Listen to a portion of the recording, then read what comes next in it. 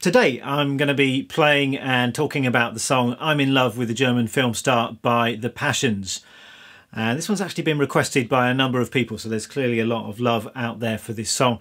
And it is a great song and it's full of great atmospheric guitar parts, and you're certainly going to need your delay pedal for this one. So I'm going to begin by playing through the track. I think I'm going to play through the entire song if that's not too self indulgent of me, and then I'll break it down for you. So let's get started.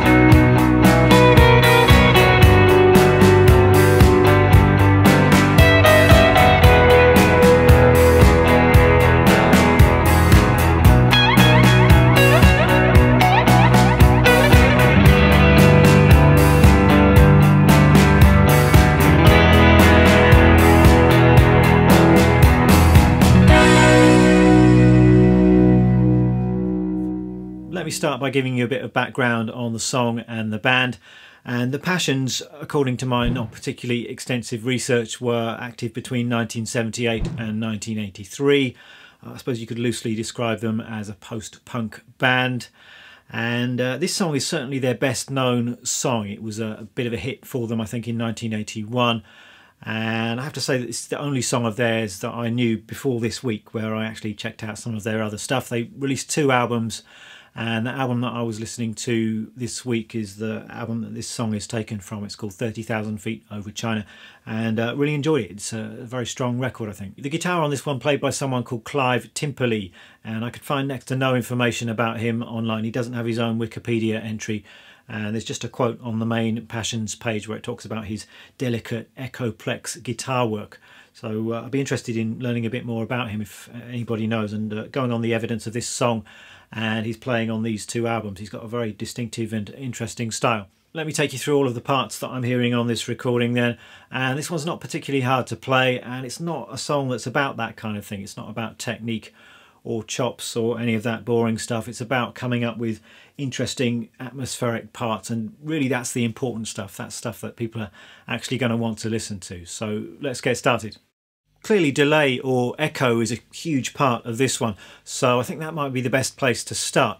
And you're going to need some kind of delay unit or delay pedal. Doesn't particularly matter what, I don't think. Any delay pedal should do it. But the key thing is you want the delay to be in time with the track. And it's a eight note delay that you want with this one. So you've got that, that kind of sound. One and two and three and four and and you can get that delay in time just by ear and just by playing around with the delay time on your pedal. That's what I did. Or you might have a delay pedal with some kind of tap tempo function that can be useful. You just tap your foot in time to the song and then the delay time will be calculated if you set it to eight notes. Or these days if you're recording in a computer then you can very easily sync the delay to the tempo of the track. So once you've got your tone dialed in let's get into the actual guitar parts of this song. And the whole song is based on a cycle of three chords and it just goes round and round for most of the song. Uh, it's a little bit hard to say what is going on theoretically here or even what key we're in with this one. I'd be interested if any theory nerds out there have got any ideas about this, but I don't know if music theory is particularly helpful when it comes to a song like this. But the three chords we're dealing with, we've got G, E, B, and we've got two bars on each of those, so it sets up a six bar cycle. I think that's quite interesting. Often songs are based on four or eight bar cycles, so the fact that these chords are repeating every six bars just makes the track a little bit unusual. Right at the top of the song, you can hear some volume swells, and it's just on these same chords. So I think it starts on a B chord, and you're just fading in the volume, and there are couple of ways that you can do this. You can do it with the volume knob on your guitar and the, the way it works is you turn the volume all the way off you play the chord and then gradually fade in the the volume.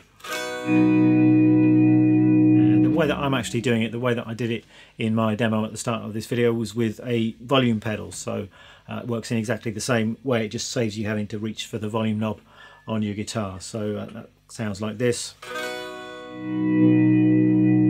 fading the volume in and out with the pedal. So my heel is down, you got no volume, and then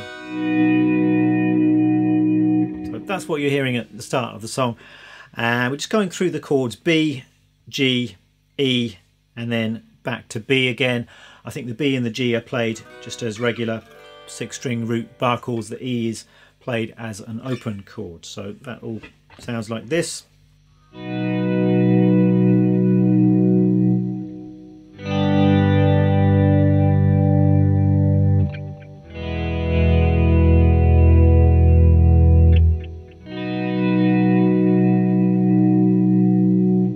Then the band enters and we start going around this cycle of chords starting on the B. And the first thing you hear is I think a B power chord. So most of the time it's just playing those bar chord shapes but occasionally there are some variations. So we've got a B a B power chord.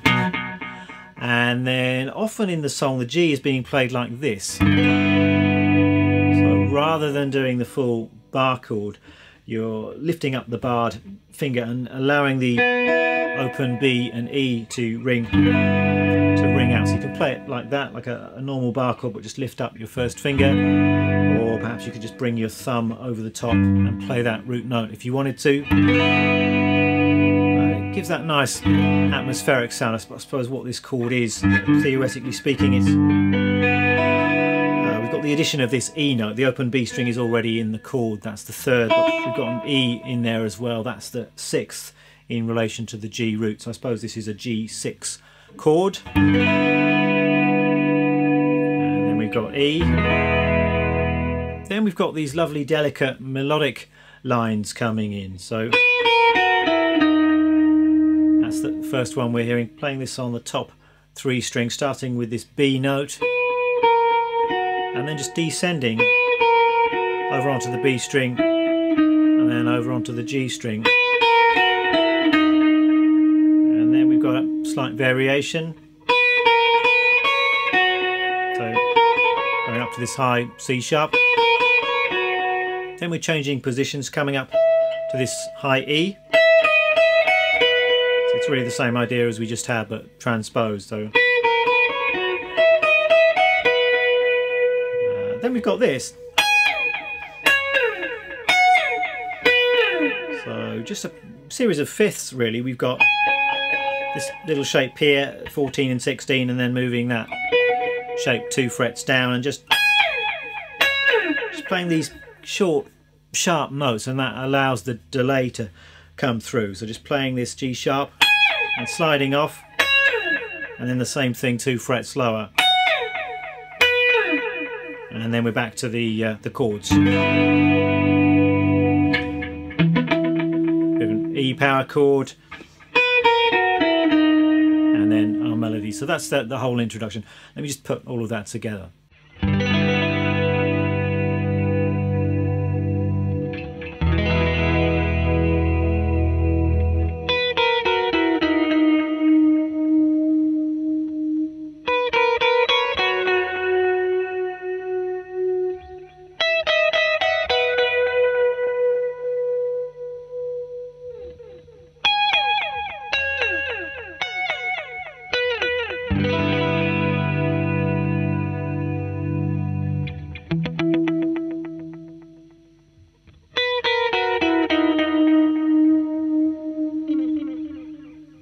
We're into the first verse, and for the most part, the verses of this song are very simple, just strumming those chords and letting them hang for two bars. So we're starting with the G or the G6.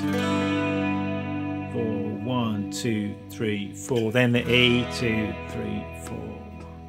And then the B. And just going round that cycle. Occasionally there are some slight variations, so rather than uh, the E played as an open chord, you might play it as a, as a power chord, that kind of thing, but nothing major for the most part. It's pretty simple. Then we've got another instrumental passage, and that's very much like the introduction with these little melodic lines, but there's some slight variations in there. So we've got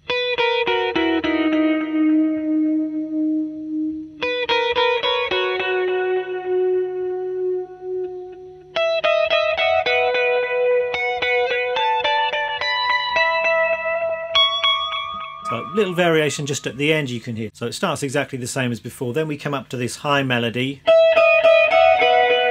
And then we've got the variation. So it's based on these fifths shapes like we had uh, in the introduction as well. So here we've got 12 and 14 and then 15, 17 and 17, 19, which starting with the higher note of those shapes.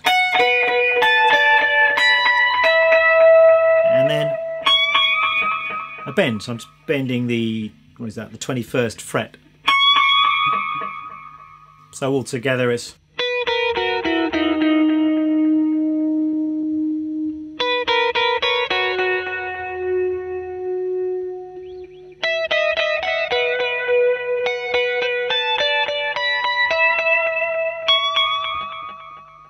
we go around for another verse. I think that's played exactly the same as before. There's another little instrumental passage with some further nice fills and variations. So I'll just play that through for you, starting from the G chord, just building up the intensity a little bit.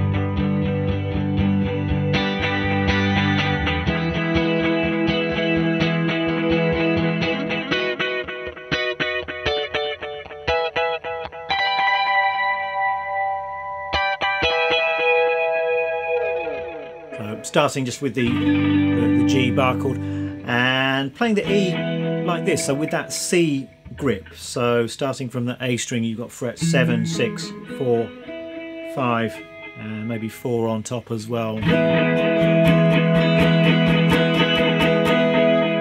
then we've got this nice triad based fill. So it's this D form triad. So I think your open D chord, I'm just moving it up here. So this is a B triad, and a D, and an E, and then moving it all the way up here to uh, a G triad. So.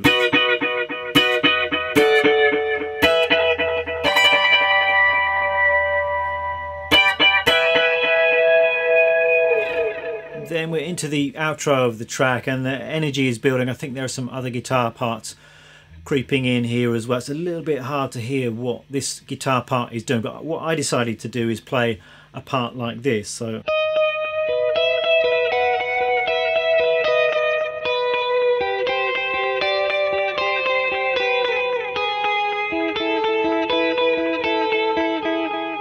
And this is all based off of triads really, so a B triad, G and an E including this note as well which is the fourth and the part I'm playing is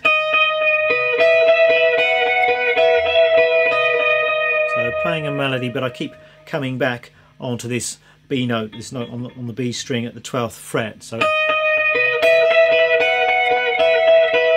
And then just following the chords so going to G... And then think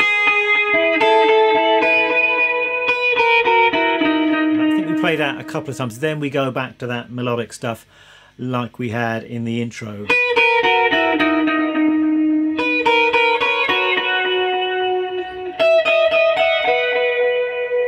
And then it's another nice variation. So it's that same part that we had at the start of the song, but instead of sliding down, you can hear that he's sliding up. So.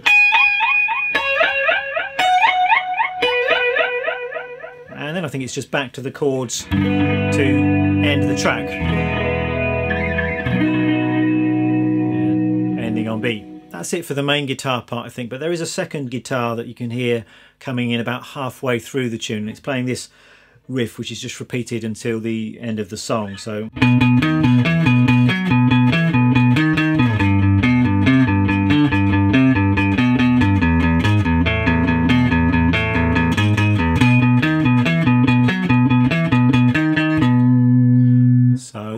like this. It's following the chords once again. We're starting um, on the B chord here. Uh,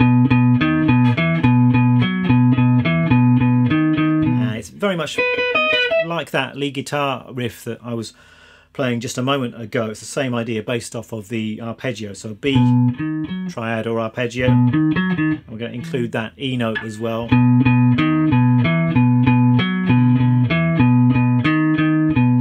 So just keep coming back to that B note uh, at the 7th fret on the low E. And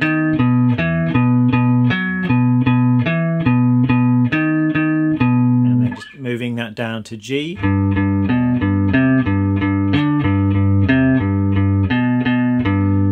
then moving it to E.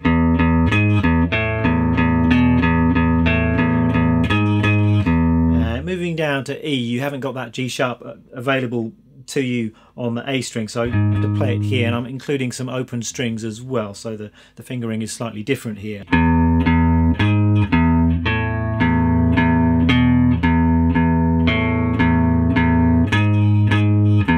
And there we go background again. And as I said, that riff is just repeated until the end of the song. It could be the, the very end of the track. There's maybe another layer or two of guitars in there as well, just doing some strumming, but it's a little bit hard to discern exactly what's going on at the end of the track. Let me give you a quick rig rundown of the gear that I'm using today. Guitar is my Jazzmaster. Amp is a Fender Princeton. I've got some pedals down here as well. Already mentioned the volume pedal, which I was using for the introduction. That's an Ernie Ball volume pedal.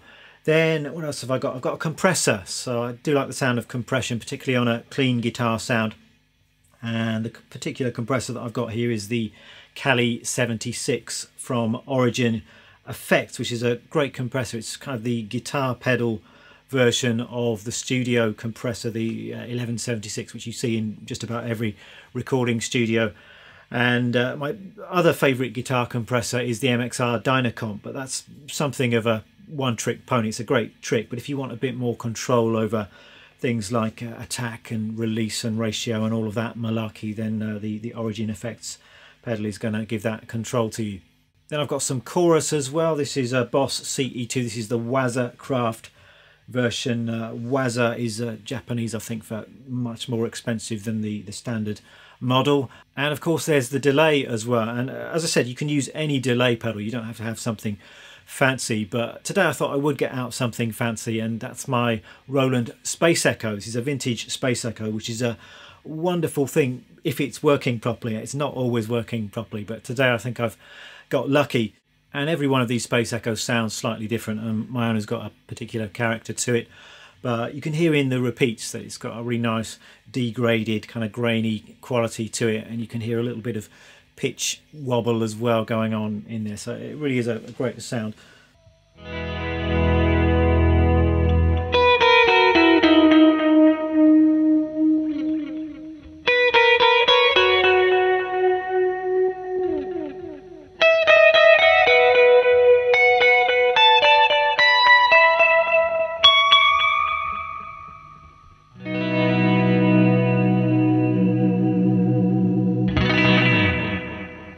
That's it for today's video. Hope you found it interesting. If you would like tab, then I have meticulously, nerdily written out the entire track, including all of those little bits that I might have skimmed over slightly in this video. So that's going to be up on my Patreon page, along with my own backing track. So check out those things should you be interested. Thanks for watching. I'll see you next time.